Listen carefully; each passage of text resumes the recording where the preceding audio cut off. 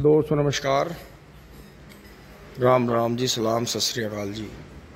दोस्तों, देखो, रात इसकी गद्दी बिल्कुल सेटिंग करने के बाद में, गद्दी कभी की ओरिजिनल है। जो नीचे पन्नी लगी हुई थी, वो भी करीब जो है, इस 92 मॉडल की, इसके साथ ही पन्नी निकली है। उसमें मैसी फर्गूशन की मोहर लगी हुई थी। पन्नी पे भी, देख लो, पन्नी का टुकड़ा था। तो दोस्तों, यही अभी बस ये हिस्सा रह गया है। तेल लगे बिना, ये साफ़ के बिना। टायर बाद में धो देंगे इसके, सरफ सर, उससे बुरुस रगड़ के। टायर दोस्तों बहुत हैं, बहुत बढ़िया चलेंगे, कोई दिक्कत नहीं है। ट्रैक्टर में देखो कहीं कोई लीकेज नहीं है, बहुत बढ़िया। बस एक पीछे की छोटी सी सील लीक है जहाँ पीटीओ सॉफ्ट लगती है, उसे भी कर देंगे। बाकी ये देखें जी, बिल्कुल बढ़िया हो गया है, चकाचक सीट थोड़ी ढीली हो रही थी दोस्तों इसकी। अब इस पर जो है नए जो कवर अगर मिलेंगे तो पिछले वाली सीट बनवा देंगे इसके इन पर भी तीन तीन कवर लग रहे हैं, झाड़ का दोबारा लगा दिया, बढ़िया तरह साफ़ करके। बाकी सीट बहुत बेहतरीन होगी इसकी। अब इसे चलाना शुरू करेंगे। और दोस्तों बाकी यहाँ पाइप फैला लिया था। मम्मी का आराम है जी, मम्मी ठीक है थोड़ी सी। इन्हें भी थोड़ा फिट कर दिया था। अब दोस्तों, चारा काट रहे हैं।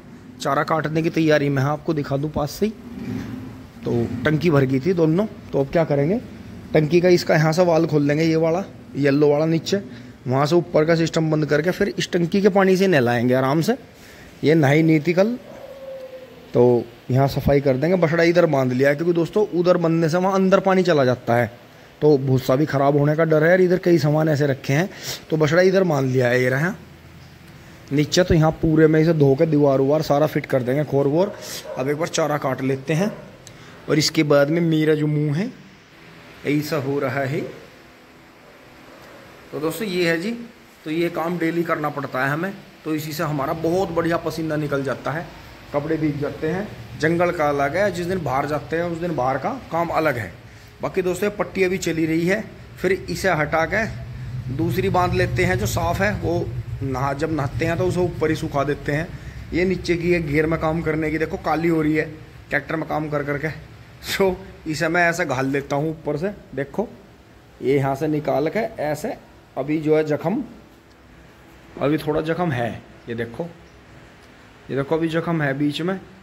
तो दोस्तों, अंदर तक कट गई थी, ज़्यादा गहरी उंगली तो ये छिलका भी टाइट होने में टाइम लगेगा। तो फिर मैं इसे ऐसे ही इस पे से, ऐसे घुमा घुमा के इस पर चढ़ा देता हूँ। तो ये फिट अब जो है चारे में नहीं टकराएगी। क्योंकि दोस्तों, किसान के पास में, किसान के पास में कोई बहाना नहीं होता कभी भी। टिंग टोंग। दोस्तों, खेत में आ गए थे जी कुछ भाई अपने। मिलने वाले आ रहे थे जी। हाँ गन्ना, ज़ीरो एक सौ अट्ठारह का खेत देखने आए थे दोस्तों, ये वाला।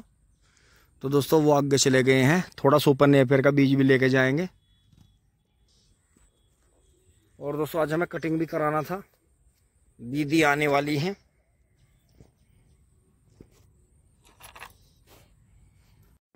तो दोस्तों पीछे से आ गई है। सुजीत भैया चल पड़े हैं जी। राम राम जी।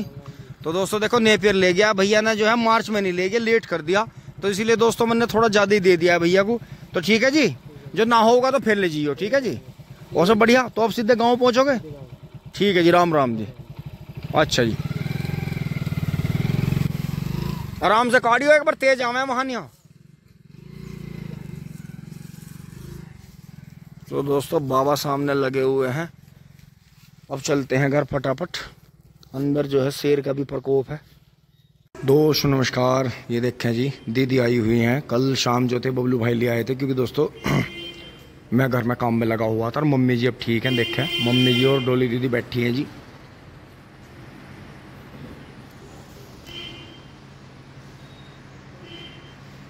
तो दोस्तों, रक्षाबंधन है जी आज तो उसका पूरे बच्चे भी और बुआ भी सब मिलके बड़ा ही अच्छा त्यौहार मना रहे हैं जी। और दोस्तों, अभी जो है मैसी को नहीं जोड़ रहे हैं, वो जुड़ा हुआ है, उसे फटाफट लेकर चलते हैं।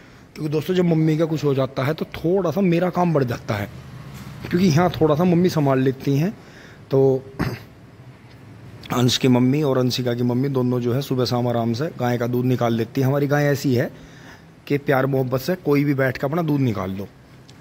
तो दोस्तों, यही है कि अब जो है ट्रैक्टर को लेकर चलेंगे। बबलू भाई जो है सुबह सुबह खेत में निकल गए हैं। बाबा भी आए थे, चाय पी के गए हैं, वो भी खेत में चले गए हैं, थोड़े पैसे ले गए हैं।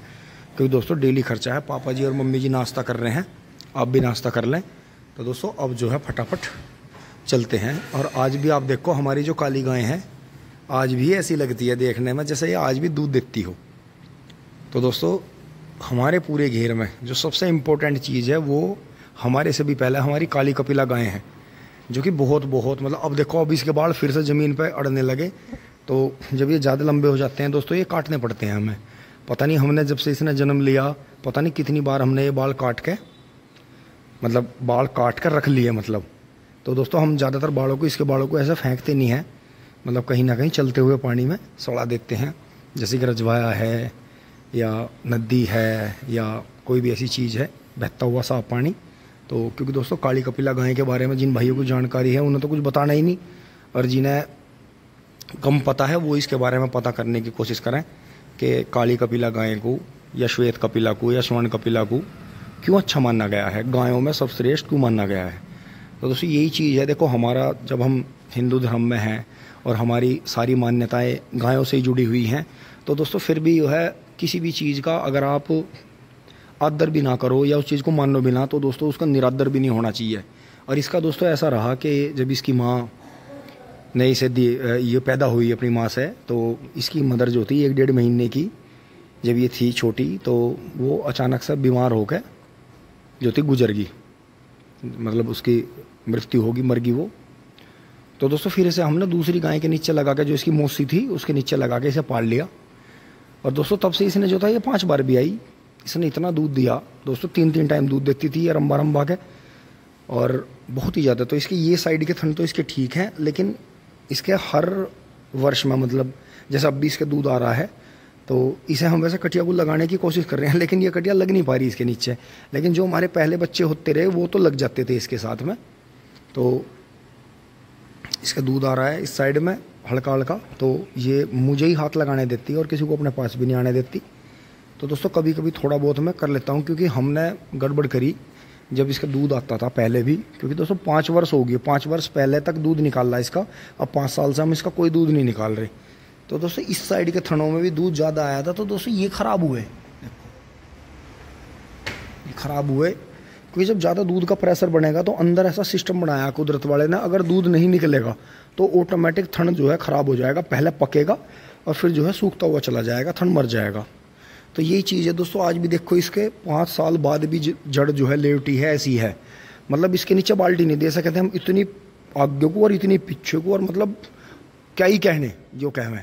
इतनी बड़ी खुदती इतनी बड़ी जड़ थी और तीन टाइम में एक डेढ़ डेढ़ बाल्टी दूध इसने दिया। तो हम छः छः घंटे के हिसाब से पाँच पाँच घंटे के हिसाब से दूध इसका निकालते दो सौ दो सौ इसने बीस बार का दूध दिया। तो ये हमें वैसे भी प्यारी है और दोस्तों, जैसे काली कपिला के बारे में मान्यता भी है कि इस पर हाथ फिराना, इसे घर में रखना, बहुत इसका पूजा पाठ करना, वो बहुत अच्छा माना गया है।